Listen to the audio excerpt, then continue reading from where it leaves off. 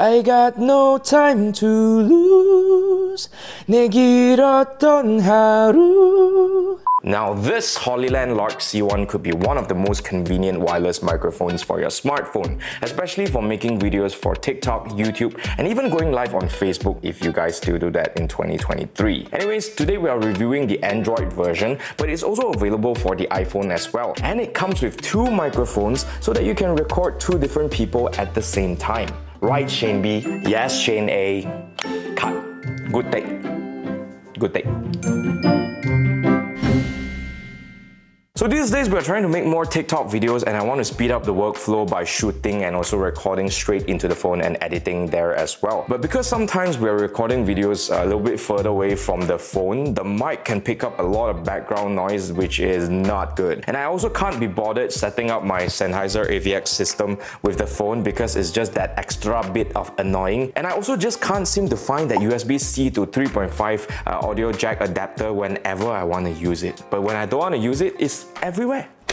Anyways, in the box you get a very nice carrying case along with instructions, a Type-C cable for charging, a couple of dead cats, not real dead cats, but these ones for muffling uh, wind noises. Finally, you get the charging case which contains the wireless receiver as well as two microphones with transmitters. The charging case as well as the receiver and transmitters are all made of plastic, but they're actually built relatively well. The only complaint that I have is about this very obvious elephant in the room, the giant logo on the microphone.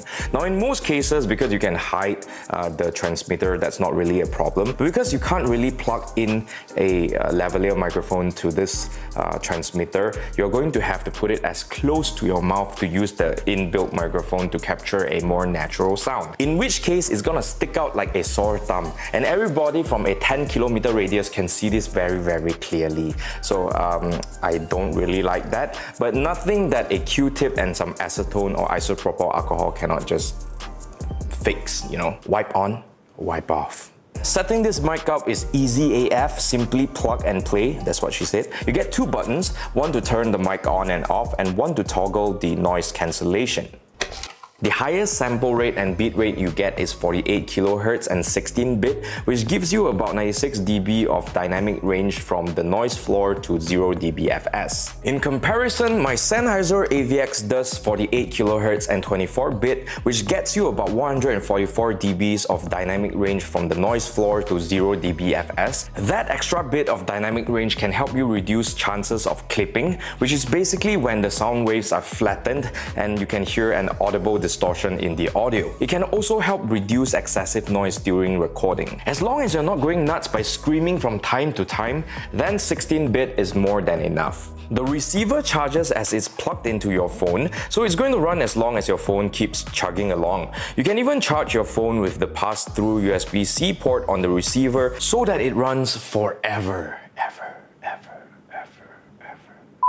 On the other hand, each microphone with the transmitter can last you up to 8 hours and since this charging case can charge both the transmitters uh, 3 times over, if you're alternating between both the mics because you're only recording one person, you can literally record up to 48 hours which is pretty bonkers with this tiny little thing.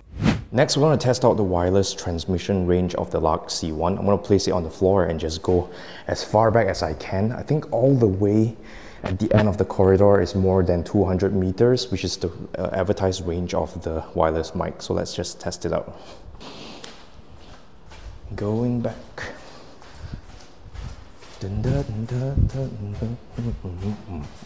We're gonna go all the way to the end and see if we still get a signal.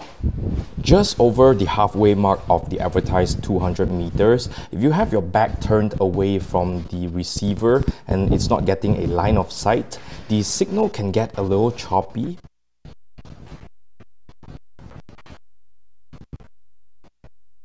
But the good news is if you maintain that line of sight, definitely further away than 200 meters at this point.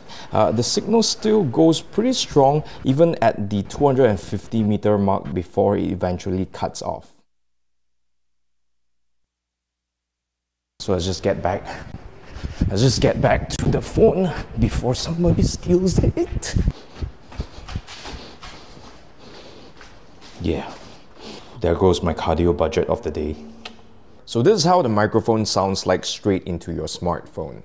I got no time to lose 내 길었던 하루 난 보고 싶어 라따따따 우린 심장 라따따따 I got nothing to lose blues. No yo ahandago. Ratatata urin 심장 ratatata. But I don't wanna stay in the middle like you a little. Don't want no riddle. My head, just say it back. Don't say no ditto. don't say no ditto. So I just took a listen to that recording on my computer with my speakers and honestly I'm actually pleasantly surprised. Uh, it actually sounds pretty good except for a little tiny bit of lacking in the bass and the lower mids department. Uh, I've already put the mic this close to my mouth to eliminate any issues with proximity effect so it's definitely not that. But yeah, it can sound a little thin but clarity wise it's pretty good. Um, surprisingly good for the price.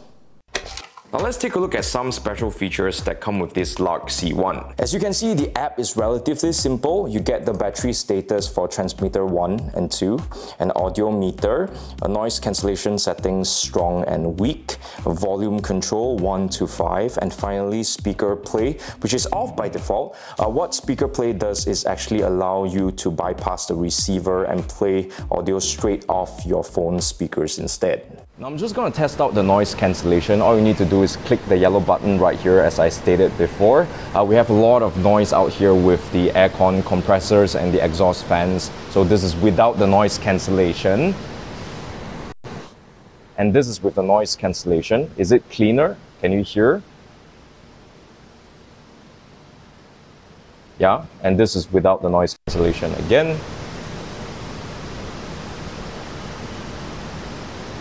Done. Hollyland recommends that you only turn on the noise cancellation if you are somewhere like I was just now that is really really noisy. Otherwise just pop on the dead cat and it should serve fine in uh, most conditions. Until this point it's all rainbows and butterflies but I do have some concerns with the Lark C1 when it comes to more professional applications. Uh, firstly is the 16-bit bit rate which might be good enough for most amateurs and prosumers but if you're a professional you might want a little bit more headroom for clipping as well as uh, potentially having a lower noise level um, with something that has a 24-bit bit rate or even 32-bit. And secondly is the fact that you cannot record uh, these two microphones separately into their own channels, which can be a problem if you are a professional that wants to uh, mix both channels separately. To recap, here are the pros, mess, and cons of the Hollyland Lark C1.